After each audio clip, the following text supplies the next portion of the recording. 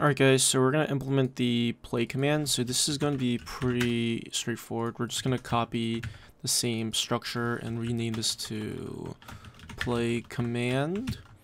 Okay, let's name that to play. So for the play command, this is going to actually play the music. Now, what we're going to do is we're going to make it so that they can actually search for songs as well. So let's go ahead and do this. Let's get rid of all of this stuff. Okay. And for example, right now we have our command handler set up so that if they uh, type uh, arguments, it's going to return it as an array. So we have to join that array together. So if I do console log query, okay, if I run my bot and if I do play hello world, it should just return as a string hello world because remember these arguments are being separated with a space, okay? So remember args is an array, okay? So that's why we're doing args.join, right? So now what we're going to do is we're going to check to see if the user is in the voice channel. So const channel, we're going to get the voice channel that the user is in. So message.member.voice. And if the channel exists, if the channel is a truthy value, what we're going to do is we're going to search for their query. Okay, so we're to make it so they can search. So we'll do const search results equals. Oh, wait. Okay, so we're to reference the music client. Remember client.music. I'm to keep repeating this is the Erela client, okay? And the Erela client has a search function that we can use to search for our songs. So we're going to pass in query, remember query is our search, and we're going to pass in message the author because we need to pass in the author that corresponds to the search. Now, if I go ahead and if I log this to the console, okay, and if I restart my bot now, if I do play, uh, if I do, uh, let's see, um, now it should not do anything. Oh, it actually did something. Oh yeah, because we are in a channel, I forgot. Okay, see how it returns all of these tracks? Okay, it returns a lot, but you can see we have all the track data. Okay, and it gives you a lot of different information, the title, the uh, duration, the URI, um, if it's seekable, identifier, all of these things. All right, so if I also do track results dot tracks dot length Okay, so let's try this play cartoon. You see we have 29 tracks. Okay, so we don't really need 29 tracks. So what we'll do is, I guess what we could do is we can create a new array, or we can just slice those tracks. So we don't really need all of those 29 tracks, so we only really need maybe like 10 or 5 of them. So I'll do const tracks equals search results dot tracks dot slice and we're gonna get uh let's get 10 of them. Okay so next i want to get the string of every single track. So i want to just get the url as well as the title. So to do that we're gonna go and say const let's call it track info. Tracks info equals and we're gonna go ahead and do tracks. And we're going to map every single result. And what we want to do is we want to return the number with the uh, title and the URL. So for example, if I just did this,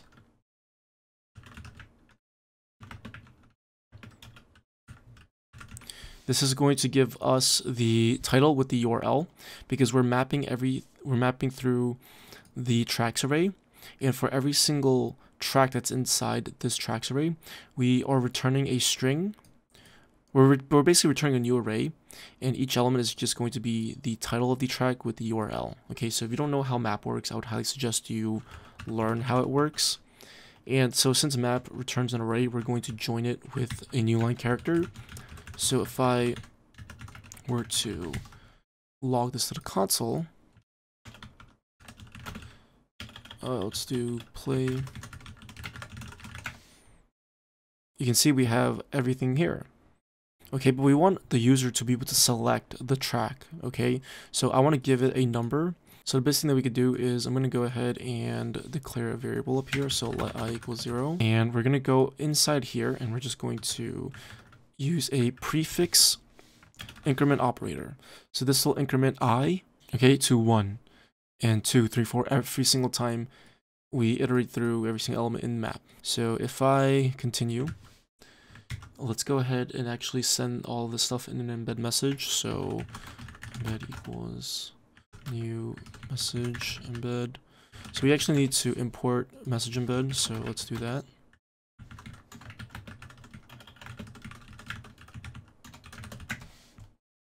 And let's go ahead and set the author. We'll set this to, let's see, message. Mm, let's set We'll set the author to client.user.tag and then client.user.display avatar URL for the URL. We're also going to set the description. So the description is going to be tracks info. Uh, we'll set a color too if we want. We're, we're not going to do it for now. Let's just do set footer music results.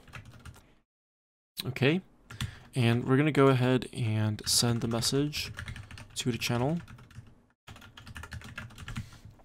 Okay. And we should see all of our results. Okay, 1, 2, 3, 4, 5, 6, 7, 8, 9, 10. Perfect. All right, and from here, what we want to do is we want the user to be able to select either from 1 to 10. So we need to await messages. Okay, we need to wait for the user to send the message. So what we're going to do is we're going to go ahead and do a simple const response. So I'm actually going to use async await. So I have async already in front of my run function. We're going to do const response equals await message dot channel dot await messages. So we're going to need a filter and we're also going to need some options. Okay, so the way await messages works is let's say for example if uh, I send a message and a bot sends a message, the bot is going to like ask us a question, for example. It's going to wait for us to send a message before it continues on what it's doing. So it's a good way to create prompts and questions and quiz bots and, you know things like that. So we're going to create a filter first because we need to filter out certain messages. So const filter equals m. So this is just a simple arrow function. This m is the parameter, it's the message object. So that's the message that's being passed into the filter function. We want to make sure that the author, so message author.id is equal to mess to m.author.id. So we want to make sure that the person who invoked the play command is the same person that is sending the uh, that is selecting the uh, songs we played. So we need to make sure that's true, and we also want to make sure that, uh, let's see, we want to make sure that they're submitting a number that is between uh, 1 or including 1 all the way up to the size of our array. Because like I said, it's not always going to be the case where we're going to have 10 tracks. Sometimes our search result is very specific. We might have like only 3 tracks. So the max that they should be able to pick is 3. So we're going to go ahead and select, or have them select from we're gonna do m dot contents. Well, let's do it. Yeah, m dot contents. So we're gonna make sure it's less than. So we're gonna check to see if m dot content is greater than or equal to one, and we also need to make sure that it's also less than tracks dot length. And I need to wrap this inside there. Okay. And let's go ahead and pass in that filter. Let's pass in our options. So I'll actually do that right over here. I kind of don't want to keep everything on the same line, so we'll do it over here. Uh, max, we'll do one for the max. And for time, we'll just do, uh, we'll do 10,000, or yeah, 10,000 milliseconds. And errors, time. Okay. Alright, so, uh, let's see. Here's what I'm going to do. If response, so if the response exists, we're going to get the actual player's response or the entry. So we're going to do const entry equals response dot first. This is going to give us the first message that the user sent, and we want to reference the content. And from here, we're going to go and get the player that we had created in join. Okay, remember why I said we needed this music players map? Because we need to get that specific player. We don't want to create a new player. We want to get the player that we already created when we call the spawn method. So we're going to do const player is equal to client dot music players dot get and since it's mapped by its ID we can just do message dot guild.id and that's going to get us the player okay and I should also do this let me actually wrap this inside try catch because an error might happen okay so const player and we're to go ahead and allow them to select whichever one they want they are to select and from here what we want to do is we just want to add the track to the uh, queue. So before I do anything else, let me actually just console log entry.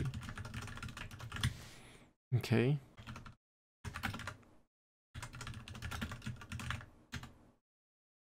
So if I select 5, it should say 5, but if I select something else, like let's say if I did um, 11, it might throw an yeah, it's not working. What if I typed ADSD? Let's say if I type strings. What if I typed 8? There we go. But that ran out of time. So if I type this, if I type 4. Okay, there we go. Okay, cool. See, I just want you want to make sure that this is an actual number. Or we actually forgot to make it less than or equal to. Okay, so cool. So now uh, what we want to do next is we want to get the selection. So if they type 5, right, let's say if they type 5, okay, they want to get this selection over here. We need to take that number and subtract 1 because this track is located at position 4 in our array. Remember, arrays start from 0, so we need to subtract 1. So now we're just going to go ahead and say const track equals tracks. So we're referencing this tracks array up here. We're going to go ahead and do entry minus 1. So that's going to get us the correct track. And now we're going to just add that track to the queue. So the player object has a queue property and the queue property has a add method. we're just going to add the track. And then we're just going to go and say message dot channel dot send. And we can send a bunch of other stuff too but for now we'll just send the title. And uh, let's go ahead and also check to make sure that the player is not currently playing. Because if the if the player is playing then we don't want to affect it. So if player is not playing we're gonna go ahead and do player dot play. Make sure you move this to that line okay so let's go and try this out. Length of undefined uh what's going on? Oh you know why? Because we didn't actually join the channel. So we are in the channel. Okay we need to actually fix our join .js method later, but right now it's not working because we don't actually have the player that exists because we didn't actually uh because we didn't actually trigger the join method and it doesn't have this uh music player okay?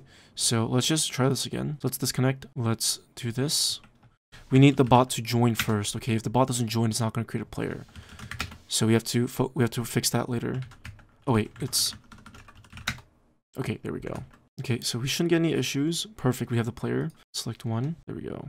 Let me actually lower this. Okay, so you can actually see the green circle around it. Let me actually unmute my volume. So hopefully you guys can hear this.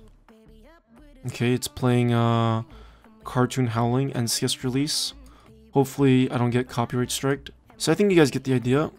We can leave this on, but... So if you guys want, just watch the live stream. I don't want to play the whole song because I think you guys get the idea. But if you don't believe me for some reason, just go check out the live stream. We, it's literally, I the code is literally identical. Okay. But yeah, that's pretty much it for this tutorial. Just wanted to show you guys a simple play command. Obviously, there are some things that we will need to tweak. But this is just the basics of it. Like I said, you want to make sure that your bot joins the voice channel first, okay? If the bot is not in the voice channel, then the play command should not work. Okay, so that's pretty much it for this video. Um, I'll see you guys in my next one. Peace.